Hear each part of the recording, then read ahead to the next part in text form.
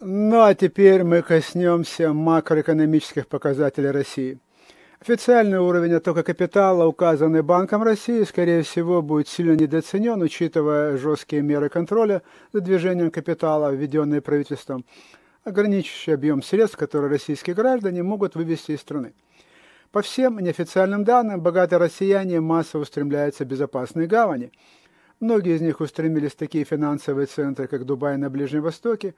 Приток российского капитала в Дубай настолько велик, что многие местные эксперты по недвижимости связывают стремительный рост стоимости недвижимости в Дубае за последние 4 месяца с притоком нового российского капитала, ищущего убежище. Многие дубайские компании по недвижимости сообщают о стопроцентном или даже 200% годовом увеличении продаж покупателями из России. Официальные данные Центрального банка России свидетельствуют о четырехкратном увеличении официального тока капитала после начала войны на фоне, на фоне утечки мозгов. Особое значение имеет иммиграция россиян, россиян со сверхвысоким чистым капиталом и высокообразованных, квалифицированных специалистов. Итак, уже зафиксировано 500 тысяч с лишним россиян, покинувших Россию. 50% из них имеют высшее образование или работают в квалифицированных отраслях, таких как высокие технологии. Причем 20% всех российских э, специалистов и тех, у кого есть э, высокое состояние, э, а такой индекс, как UHNWI, он определяет людей с чистым состоянием более 30 миллионов, среди них уже 15 тысяч с небольшим покинули Россию. И официальный обменный курс рубля при наличии такого жесткого контроля за движением капиталом может вводить в заблуждение, ведь рубль, что неудивительно, торгуется на резко сократившихся объемах по сравнению с тем, что были до начала войны в условиях низкой ликвидности.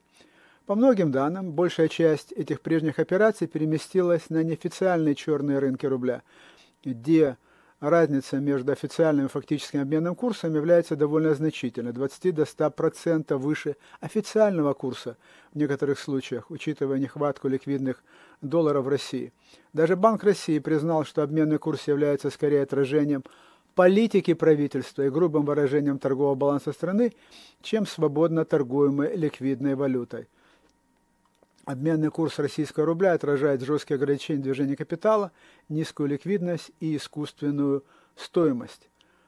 Определить точный объем расходов президента Владимира Путина и туда, куда уходят деньги, невозможно с большой степенью точности, учитывая, что самая, самая крупная категория расходов в российском бюджете являются так называемые цитирую, президентские расходы, то есть намеренно двусмысленное понятие, затуманивающее без того запутанную российскую федеральную бухгалтерскую книгу. Тем не менее, объявленные Владимиром Путиным фискальные меры дают некоторое представление о беспрецедентных масштабах поддержки слабеющей российской экономики. О черном ящике, которым является бюджет и финансы российского государства, невозможно судить с точностью до 100% или уверенностью, что некоторые факты неоспоримы. Тем не менее, есть уже много показателей, которые говорят о том, что э, проблемы, с которыми сталкиваются фонды России на черный день, являются уже фактом, и что из 600 миллиардов долларов валютных резервов, накопленных за годы нефтяных и газовых доходов, 300 миллиардов долларов заморожены и недоступны. Также звучали призывы изъять эти 300 миллиардов долларов для финансирования установления Украины, призывы, которые, похоже, звучат громче в европейских политических кругах, чем в Соединенных Штатах, но это во всяком случае пока. Оставшиеся валютные резервы экономики России сокращаются угрожающими темпами. С начала войны российские валютные резервы уменьшились на 75 миллиардов долларов. Темпы, которые, если их увеличивать в годовом исчислении, позволяют предположить, что эти резервы могут быть израсходованы в течение ближайших нескольких лет. Ну вот вкратце то, что а, мы можем прочитать в докладе экспертов Ельского университета. Там еще речь идет и очень серьезной инфляции, которая реально существует в России, но которая не отражает официальная статистика. Речь идет и о том, что Россию уже ждет серьезнейшая безработица, причем об этой безработице говорит очень успешный мэр очень успешного города Москвы Сергей Собянин. Собянин говорит о том, что по нашим оценкам как минимум 200 тысяч человек в Москве рискуют потерять работу. Это он написал в своем официальном блоге. То есть уже и безработица не только на пороге, она уже реально пришла в российскую экономику, и самое главное, она пришла в жизнь россиян. Неужели все эти трудности, которые только нарастают, по сути, это только начало этих проблем, неужели все эти трудности могут в умах россиян каким-то образом компенсировать их чувство гордости по поводу того, что российская армия вторглась в Украину и разрушает ее? Как вы об этом думаете, или точнее, как вы к этому относитесь? Давайте, давайте послушаем вас, у нас уже есть звонки, и начнем мы с вас. Здравствуйте, в эфире. Здравствуйте, Алексей, а, это Игорь звонит. Я бы хотел бы а, пару вопросов и комментариев. А, только что вот в перерыве вашей передачи Лена Вишневецкая зачитала новости которые говорят о том, что якобы рубль укрепляется. Вы понимаете, идет чисто пропагандистские новости на этом радио. Я бы хотел бы просто обратить внимание, может быть, чтобы кто-то слышит сейчас из менеджмента радио, чтобы они э, поменяли, наверное, веб-сайт, откуда они читают новости, потому что это абсолютно пропаганда, московском, такая промосковская кремлевская пропаганда. Насчет укрепления рубля, вы правильно сказали, что это все чистая фикция, что это все искусственно, и вы знаете, вы говорите, что там будет го, а, в смысле цен, там, безработица. Я бы хотел, бы, чтобы россияне ощутили на себе всю, а, знаете, всю тягость того, что ощущать должен агрессор, страна-агрессор, народ, который поддерживает агрессию. Пусть у них будет и голод, и разруха. Я считаю, что это именно это вот их немножко приведет, наверное, в чувство, и они начнут, наверное, думать о том, что происходит.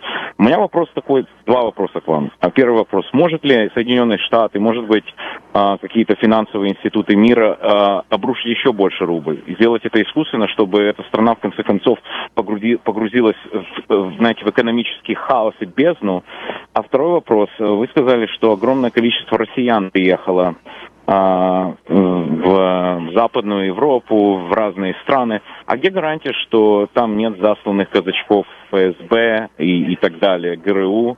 То есть э, можно ли доверять всем тем россиянам, которые приехали и на самом деле проверяют ли их на то, что не являются ли они э, засланными врагами Запада, Америки и так далее? Вот эти у меня два вопроса. Спасибо.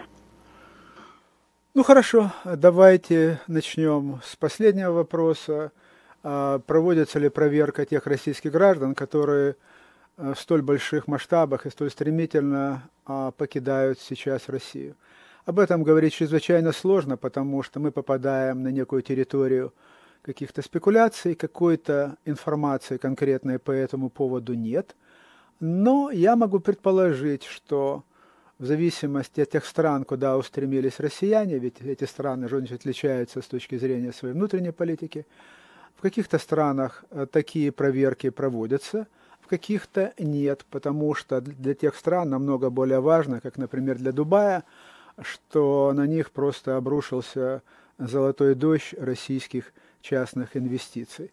Поэтому я думаю, что об этом говорить просто мы не можем в силу того, что у нас отсутствует какая-то конкретная информация. Ну, а если у нас нет информации, чем мы можем заменить? Только какими-то размышлениями. Вот, это, на мой взгляд, вот этот момент. Второй момент, ну, второй момент, э, то, что касается отношений рубля. Ну, я тогда прочитаю кусок э, из этого доклада Ельского университета, которая призывает, чтобы каждый из нас, кто владеет английским языком, познакомился сам, потому что это первое, подчеркиваю, первое серьезное экономическое исследование той ситуации, которая сложилась в Российской Федерации после введения санкций и после начала этой агрессивной войны. Так вот, э, там есть такой, на мой взгляд, очень важный кусок – Благодаря масштабной волне фискального и монетарного стимулирования, развязанного после начала войны, российские государственные расходы и социальные обязательства сейчас намного выше, чем раньше. Для поддержания этого беспрецедентного уровня расходов любое снижение доходов от продажи газа и нефти заставляет Россию еще больше задействовать свои фонды на черный день, но эти резервы, похоже, уже истощаются, а перспективы будущего пополнения этих жизненно важных резервов становятся все более туманными. Похоже, что это будет курс фискальной политики с нулевыми правами на ошибку. действовать исходя из предубеждения, что доходы от нефти и газа будут только расти. В этом и заключается основной вопрос. Закончится ли у правительства деньги, или оно сможет поддерживать эти беспрецедентные уровни бюджетных расходов. И вот самое главное. Самое главное, всего лишь три строчки. Правительство наводняет экономику искусственной ликвидностью. Иными словами, печатание денег – индикатор me too, чтобы скрыть экономическую слабость. Наиболее очевидной проблемой, с которой сталкиваются фонды России, ну и так далее. Смотрите, что сказано. Правительство наводняет экономику искусственной ликвидностью, то есть, иными словами, печатает деньги – и российское правительство уже прибегло к этой чрезвычайной мере стимулирования экономики, которая, как мы с вами знаем, безусловно дает эффект на коротком промежутке времени, но в более длительной перспективе неизбежно вызывает инфляцию. И чем больше будет напечатано этих новых денег, тем более серьезной будет эта инфляция. Причем по некоторым показателям инфляция уже в российской экономике, она достигает от 40 до 60 процентов. Причем, опять-таки, это не в целом по экономике, но, допустим, по компьютерам, по предметам электроники, вот там уже инфляция достигает 40-60 процентов. И это, на мой взгляд, э, очень важные перемены. Перемены, которые касаются отдельных а, сейчас классов или страт российских жителей, но в какой-то момент эти перемены затронут абсолютно всех. Есть такая теория, которая неоднократно высказывалась а, в российской экономической прессе, а, что значительная часть россиян, или так называемый глубинный народ, живет настолько бедно и привык жить очень бедно, и за все эти годы а, такого так называемого процветания, когда в Россию пришли триллионы нефтедолларов, жизнь этих людей, которые живут по всей России, за исключением таких регионов, как Москва или Санкт-Петербург, жизнь их реально не изменилась. Поэтому санкции, какими бы жесткими не были, они этой категории вообще людей никоим образом не касаются. Они плохо одеваются, плохо едят, у них нет никаких удобств, а туалеты у них во дворе – ну и так далее. Поэтому санкции на них никоим образом не действуют, а именно вот эта часть российского общества и является той средой, откуда вербуются а, новые солдаты для российской армии. Поэтому с этой точки зрения эти санкции не работают. Далее. Эти два важнейших региона для российской власти, регион Москвы и регион Санкт-Петербурга, он поддерживается искусственно сейчас, в общем-то, в нормальном состоянии с точки зрения не просто экономических показателей, а реального уровня жизни населения. Какие-то западные шмотки заменили турецкие или китайские, ну и так далее. Рестораны работают, театры работают. То есть, если посмотреть э, взглядом, не вникая в то, что происходит реально, эти два региона живут хорошо. Но санкции работают 5 месяцев. А сами российские экономисты, включая таких реальных звезд российской экономики, как а, Владислав Иноземцев, говорили о том, когда эти санкции вводились, что реально граждане России почувствуют их воздействие как только по а, достижении некого шестимесячного рубежа, может быть даже восьмимесячного рубежа, когда начнется период массовых увольнений и когда безработица в России начнет достигать угрожающих размеров. Вот тогда уже реально этот глубинный народ, и точнее даже средний класс, почувствует влияние этих санкций. Ну, а э, с практической точки зрения очень важно, если мы это идем от макроэкономических показателей, очень важно, что те санкции, которые введены и поддерживаются, они во многом блокируют деятельность российской военной промышленности. Вот что важно – это если мы говорим о каких-то более конкретных вещах. Это означает, что сейчас на фронты в Украину прибывают а, допустим, танки Т-62, которые снимались с хранения. Это при... используются уже а, ракеты воздушного базирования, которые были созданы в конце 60-х годов, серии Х или серии X, как говорят на Западе, ну и так далее. Вот что, на мой взгляд, очень важно, потому что как бы мы ни оценивали эти санкции с такой или другой точки зрения, ведь они вводили для того, чтобы остановить эту войну. Ведь это самое главное, остановка этой войны. И можно себе представить, что если сейчас по прошествии пяти месяцев они оказывают столь серьезное воздействие на российскую экономику в целом, то через несколько месяцев ситуация может быть намного более серьезной. И может быть именно вот эта новая ситуация в российской экономике и подтолкнет Кремль за стол переговоров. Не формально, а по сути. Что у нас со временем? Время у меня уже подходит к своему завершению.